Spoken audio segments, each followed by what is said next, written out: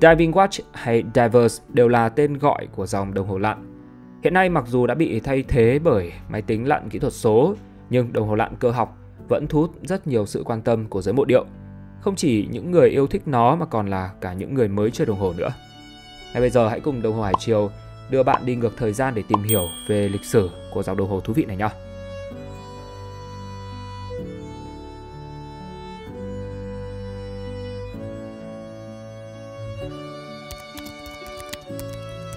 Vào trước thế kỷ thứ 17, trước khi ra đời những chiếc đồng hồ có khả năng khám phá những vùng sâu nhất của đại dương, việc phát triển một chiếc đồng hồ có khả năng chịu được va đập khi ở bên ngoài túi áo khoác đã là một điều khó khăn rồi. Nên trước những năm 1918, người ta chưa thực sự quan tâm đến một chiếc đồng hồ đeo tay mạnh mẽ dùng trong điều kiện khắc nghiệt đâu. Chúng được quan tâm hơn sau cuộc chiến tranh thế giới thứ nhất vào năm 1918. Quân đội hải quân các quốc gia có nhu cầu về một thiết bị xem giờ khi họ lặn ở dưới nước. Nó phải chịu được áp suất cao, dễ xem giờ và phải thật chắc chắn để phục vụ cho những binh chủng đặc biệt.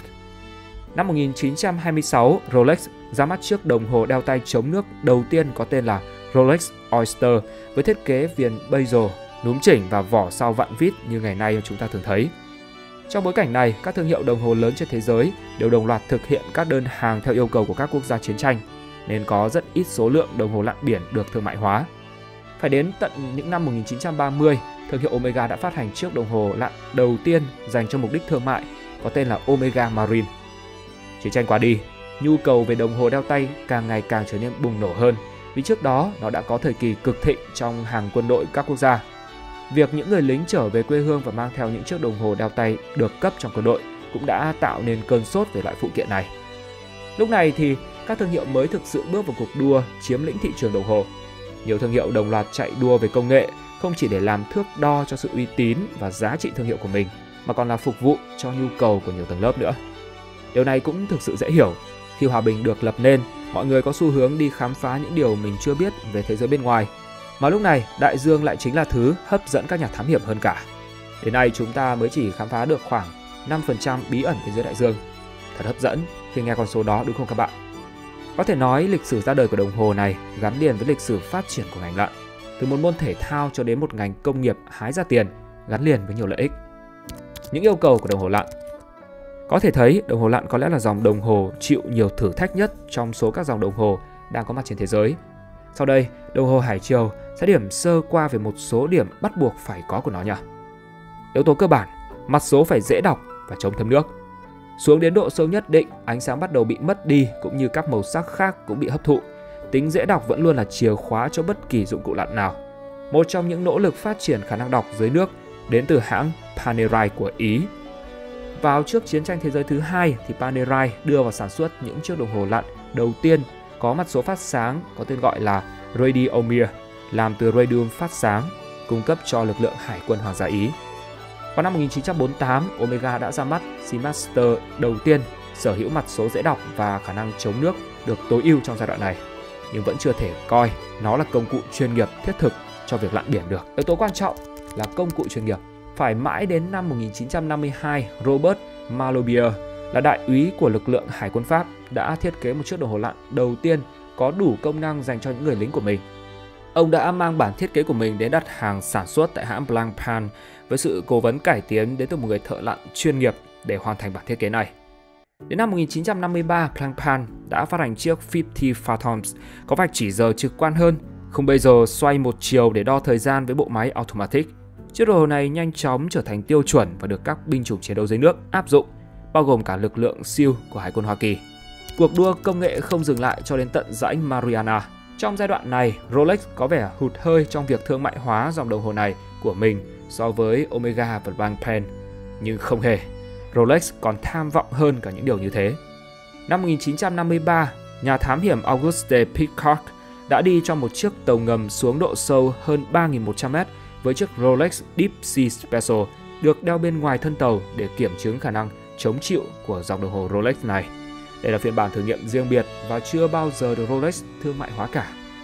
Một năm sau đó, tại Basel, Rolex đã giới thiệu chiếc đồng hồ lặn hiện đại với tính năng hoàn hảo đó là chiếc Rolex Submariner.